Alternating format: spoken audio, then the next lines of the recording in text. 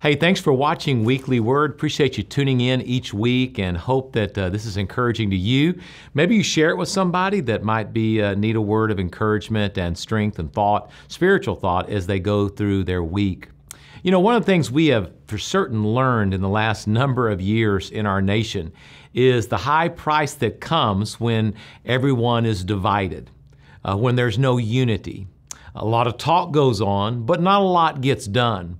A lot of fighting happens, but not a lot that's really accomplished ultimately for people, the good of people's lives. I think that's not just true in a nation, that can also be true in an individual when there is division within us.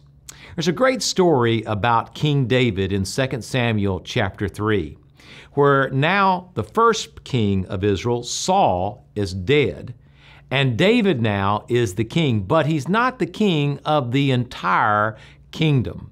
He's just the king of Judah.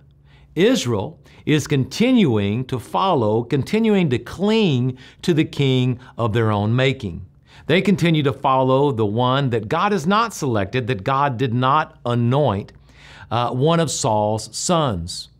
And so there are all kinds of battles going on as a result of that within their own lives together between the same people, between Judah and between Israel. There are all these skirmishes, all of these battles because one is clinging to the king that is not legitimate, and then there are others that are clinging to the king that is. It's a divided kingdom. Often our lives are like that. Often inside, we're still clinging to the kingdom that we want. And that kingdom is my way, what my desire is, what my agenda is. But God says, no, I've got a new kingdom for you. And the king is Jesus Christ. Instead of clinging to yourself and clinging to what you want, why don't you surrender and submit to me that I might change and do something in your life? There's a story in that about uh, in chapter 3 of 2 Samuel where a guy named Abner, who was the uh, kind of the general, if you will, of the army of uh, Saul, who goes to the elders of Israel who will make this critical decision. And he says to them this.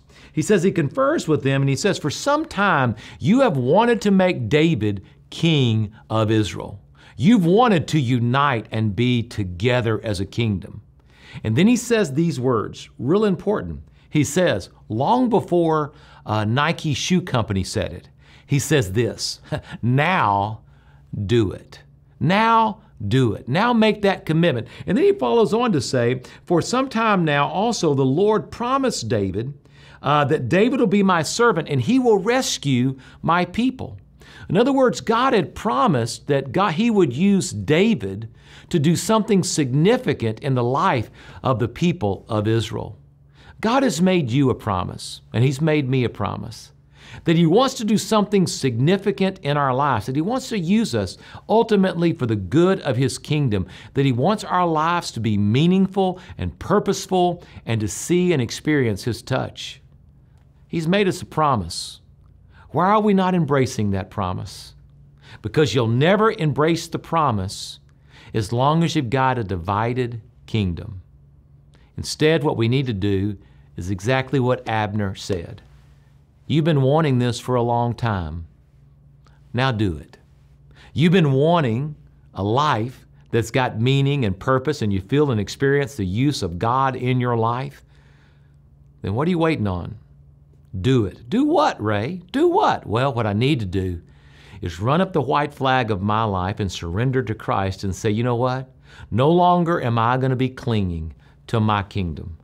I'm going to instead surrender and submit to your kingdom. And when you do, you will see and I will see the promises of God fulfilled in our lives, and we will experience the life that we all long for because that's a united kingdom. May God bless you, and we'll see you next week.